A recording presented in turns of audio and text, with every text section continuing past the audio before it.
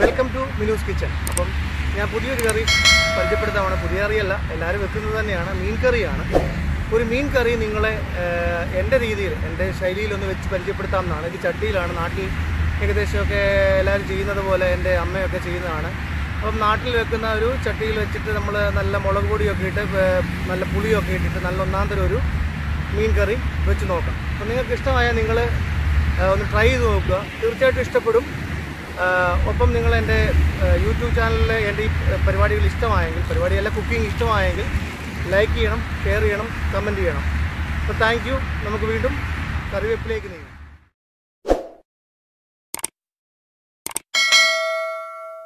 മീൻ അന്വേഷിച്ച് ഞാൻ ദുബൈയുടെ മാർക്കറ്റിലേക്കൊന്ന് കടന്നു ചെന്നു. അപ്പോൾ ഞാൻ കുറേ കുറേ അന്വേഷിച്ചപ്പം ആവോലിയാണ് എനിക്ക് കിട്ടിയത്. എന്നെ കൊണ്ടുവന്ന് തൊലിയൊക്കെ ഉരിച്ച് നല്ലപോലെ ക്ലീൻ ചെയ്ത് ചട്ടിയിലാക്കി. അടുത്ത പ്ലേറ്റിനകത്ത് കുറച്ച് എന്താ പറയുക കുറച്ചെന്ന് പറയാൻ പറ്റില്ല അധികമായിട്ടുണ്ട്. ഇഞ്ചി വെളുത്തുള്ളി കുടംപുളി കറിവേപ്പില നമ്മുടെ ഉലുവ. പൊടിക്കാത്ത ഉലുവയാണ് ഫുള്ളായിട്ടുള്ള ഉലുവ. നല്ല മൺചട്ടി വെച്ചിട്ട് അതിലേക്ക് നല്ലപോലെ ചൂടായപ്പം വെളിച്ചെണ്ണ ഒഴിച്ചു കൊടുത്തു. വെളിച്ചെണ്ണ ഒന്ന് തിളച്ച് കിട്ടണം. തിളച്ച് കിട്ടുമ്പം ചുട്ടില്ല ചില ശരിക്കും ഒന്ന് ചൂടായി കിട്ടിയാൽ മതി. അതിലേക്ക് കുറച്ച് കടുക് നമുക്ക് ഇട്ട് കൊടുക്കാം. കടുക് ഇട്ടു. അതോടൊപ്പം കുറച്ച് ഉലുവയും കൂടി ഇട്ട് കൊടുക്കും ഉലുവ പൊടിയല്ല ഒറിജിനൽ ഉലുവയാണ് വറുത്ത ഉലുവയാണ്. പിന്നെ നമ്മൾ ഇഞ്ചിയും വെളുത്തുള്ളിയും ഞാൻ ചോപ്പറിനകത്ത് അരിഞ്ഞത്. ശരിക്കും ചോപ്പറിനകത്ത് അരിയാൻ പാടില്ല. രുചി കുറയും. അതാണ്. ചോപ്പറിനകത്ത് ഉരി അരിയാൻ പാടില്ല. അല്ലാതെ തന്നെ നമുക്ക് കൈകൊണ്ട് കുത്തിയരിയുവോ അല്ലെങ്കിൽ നമ്മൾ കട്ടിംഗ് ബോർഡ് വെച്ച് അരിഞ്ഞിട്ട് ഇടിക്കുന്ന യന്ത്രം ഇട്ടിട്ടൊന്ന് ഇടിച്ചെടുക്കണം. അപ്പോൾ ആ ഒരു സത്തിറങ്ങും പക്ഷേ ഇത് ഞാൻ ചെയ്ത തെറ്റാണ്. എങ്കിലും നിങ്ങളത് മനസ്സിലാക്കി പ്രവർത്തിക്കുക. എനിക്ക് സമയമില്ലായിരുന്നു. അത് ഏകദേശം മൂത്ത്. നല്ലപോലെ കണ്ട? കളർ കണ്ടാൽ അറിയാം. ഇഞ്ചി വെളുത്തുള്ളിയും കൂടെ നല്ലപോലെ മൂത്തു. അതിനകത്ത് ഉലുവയുണ്ട് കടുകുണ്ട്. അപ്പം ചുമന്ന മുളക്. അതായത് നമ്മൾ കാശ്മീരി ചില്ലിയാണ് യൂസ് ചെയ്യുന്നത്. എരിയില്ലാത്തത് ഞാൻ മൂന്ന് സ്പൂൺ ഇടും. നിങ്ങൾ രണ്ടേ ഇടാവും. കാര്യം എരി കൂടണ്ട. നിങ്ങൾക്കതൊരു ഈ മുളക് പൊടി മാത്രമേ ചേർക്കും. മല്ലിപ്പൊടി ചേർക്കാത്തത് കൊണ്ട് വെറും അങ്ങ് എരിയായി പോകണ്ട അപ്പം ഞാനതുകൊണ്ട് മൂന്ന് സ്പൂൺ ചേർത്ത്. എനിക്ക് എരി ഇഷ്ടമാണ്. മൂന്ന് സ്പൂൺ ഞാൻ നാട്ടിൽ നാട്ടിൽ നിന്ന് പൊടിച്ച് കൊണ്ടുവന്ന കാശ്മീരി ചില്ലിയാണ്. അപ്പോൾ അതുകൊണ്ട് അറിയാമല്ലോ ഇവിടുത്തെ വാങ്ങിക്കുന്ന പോലത്തെ ഒന്നുമല്ല ഫ്രഷാണ് കണ്ടറിയ കളർ തന്നെ. കുറച്ച് മഞ്ഞൾപ്പൊടിയും കൂടെ. ഈ മഞ്ഞൾപ്പൊടി നാട്ടിലെ കേട്ടോ. എല്ലാ സാധനവും നാട്ടിൽ പോകുമ്പം ഒന്ന് പൊടിച്ച് റെഡിയാക്കിയും കൊണ്ടുവരും.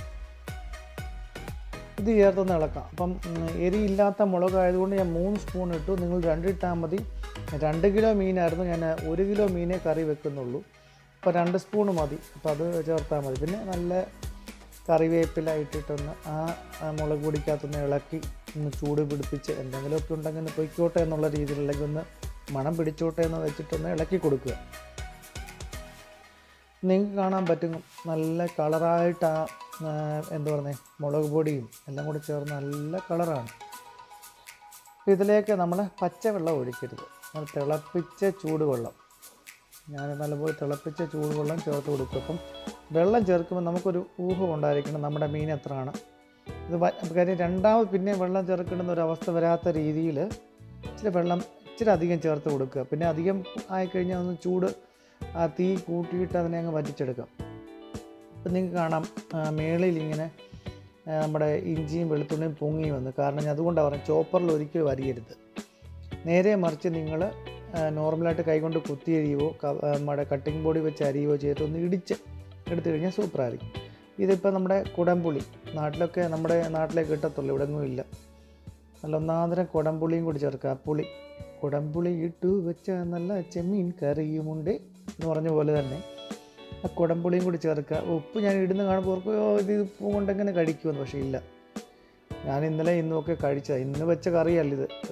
വെച്ചിട്ട് വീഡിയോ എടുത്ത് കഴിച്ചതിന് ശേഷം നിങ്ങളെ കാണിക്കുന്നത്. അപ്പം ഞാൻ കഴിച്ചപ്പോൾ എനിക്ക് എരി അധികം തോന്നിയില്ല ഉപ്പധികം തോന്നിയില്ല ഒന്നുമില്ല. ഒരു നെഗറ്റീവാണ് ഞാൻ പറഞ്ഞത്. ചോപ്പറിൽ ഒരിക്കലും അരിഞ്ഞെടുക്കരുത്. കൈ കൊണ്ട് കുത്തിയരിവോ അല്ലെങ്കിൽ ഇത് കഴിഞ്ഞ് ഒന്ന് ചതച്ചൂട് എടുത്തു കഴിഞ്ഞാൽ നല്ലപോലെ ആ വെള്ളത്തിനകത്ത് അങ്ങ് മിക്സ് ആവുക പിന്നെ നമ്മൾ റെഡിയാക്കി വെച്ച ആവോലി മീനാണ്. അതിനെ ഞാൻ ഞാൻ തന്നെ തൊലി ഉരിച്ച് പീസാക്കി എടുത്താൽ കണ്ടോ? എന്റെ നല്ലപോലെ ഉണ്ട് അതിനകത്ത് ഇട്ട് കൊടുക്കുക. അത് ഈ വെള്ളത്തിലേക്ക് ഇങ്ങനെ താത്ത് കൊടുക്കുക. അതായത് മുളക് പൊടിക്കകത്തിരുന്ന് നമുക്ക് ഇളക്കാൻ പറ്റത്തില്ല. മീൻകറി ആയതുകൊണ്ട് ഇറച്ചിയാണെ നമുക്ക് സ്പൂണൊക്കെ ഇട്ട് ഒന്ന് തിരിച്ച് ഇളക്കി കുക്കറി വെച്ചിട്ടുണ്ട് വിസിലടിച്ച്. പക്ഷേ ഇത് അതൊന്നും പറ്റത്തില്ല. ഇതെന്ന് പറഞ്ഞു കഴിഞ്ഞാൽ നമ്മൾ ചട്ടിയിൽ ഒരിക്കൽ വെച്ച മീനെ പിന്നെ ഇളക്കാൻ പാടില്ല. ആ ഒരു ഇരിപ്പിലിരുന്ന് വെന്ത് കിട്ടണം. അതുകൊണ്ട് അതിനകത്ത് ആ താത്ത് താത്ത് താത്ത് ആ വെള്ളം അതുകൊണ്ട് ആ സെറ്റ് ചെയ്തു. മീനും സെറ്റ് ചെയ്തു. അടച്ച് വെക്കുക. അടച്ച് വെച്ചിട്ട് ആ ആവിയിലിരുന്ന് അപ്പോൾ തീ അധികം വെക്കാനേ പാടില്ല തീ അധികം വെച്ച വെള്ളം വറ്റി അടി പിടിക്കും. ചെറിയ തീ വെച്ച് കണ്ടോ? നമ്മുടെ കറി സൂപ്പറായിട്ട് വെന്ത് റെഡി ആയിക്കട്ടെ കിട്ടി. അതിനകത്ത് മുകളിലേക്ക് കുറച്ച് വെളിച്ചെണ്ണ ഏറ്റവും വെന്ത് കഴിയുമ്പോൾ മുകളിലോട്ട് കുറച്ച് വെളിച്ചെണ്ണ ഇറക്കുന്ന എന്തിനാ ചോദിച്ചാൽ എരിയും. അമിതമായിട്ട് എന്തുണ്ടെങ്കിലും വെളിച്ചെണ്ണ ഒന്ന് നശിപ്പിച്ച് കളയും. അതിന്റെ മുകളിലേക്ക് കുറച്ച് കറിവേപ്പില കൂടി ചേർത്ത് കൊടുക്കുക ഒരു ഒരു ഇതിന് കറിവേപ്പില ഞാൻ പറഞ്ഞല്ലോ എപ്പോഴും ചിലരൊക്കെ അരച്ച് പ്രഷർ വാരൊക്കെ അരച്ച് ഉരുട്ടി കഴിക്കുന്ന സാധനം ഈ കറിവേപ്പില. അപ്പം കുറച്ച് കറിവേപ്പില കൂടി ചേർത്ത് ഒന്ന് പിടിപ്പിച്ച് ഒന്നുകൂടെ ഒന്ന് അടച്ച് വെച്ചിട്ട് ഇനി എടുത്ത് വെക്കുക. അതുകൂടെ കഴിഞ്ഞ്. നമ്മുടെ മീൻ കറി റെഡി ശരിക്കും പറഞ്ഞാൽ പതിനഞ്ച് മിനിറ്റ് മതി. എല്ലാം റെഡി ആണെങ്കിൽ ഇപ്പം നിങ്ങളെ വീഡിയോ കാണിക്കേണ്ടതുണ്ടെങ്കിൽ ഞാൻ ലേറ്റ് ആകുന്നത്. അല്ലെങ്കിൽ പെട്ടെന്ന് കഴിഞ്ഞേനെ കണ്ടോ? നമ്മുടെ മീൻകറിയിലെ ചട്ടിയിലേക്ക് ഒന്ന് നോക്കി. എന്ത് രുചിയാണെന്ന് നിങ്ങൾ കണ്ടാൽ തന്നെ അറിയാം. ഒരു കഷ്ണം വിളമ്പത്തുള്ളൂ.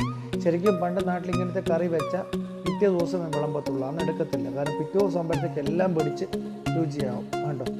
മീനും വിളമ്പി കറിയും വിളമ്പി. ഇനിയിപ്പോൾ അതിന് ഒരു കൂട്ട് വേണ്ടേ? അങ്ങനെ രണ്ട് കഷ്ണം കപ്പയും കൂടെ ഒന്ന് വെച്ച് നോക്കാം. എന്താ കപ്പയും മീൻ കറി എന്ന് പറയുമ്പോൾ അതിനൊരു പ്രത്യേക രുചി. രണ്ട് കഷ്ണം കപ്പയും വെച്ചു അപ്പം ഇഷ്ടമായെങ്കിൽ എന്റെ യൂട്യൂബ് കാണുക നിങ്ങൾ വെച്ച് നോക്കുക ലൈക്ക് ചെയ്യുക ഷെയർ ചെയ്യുക.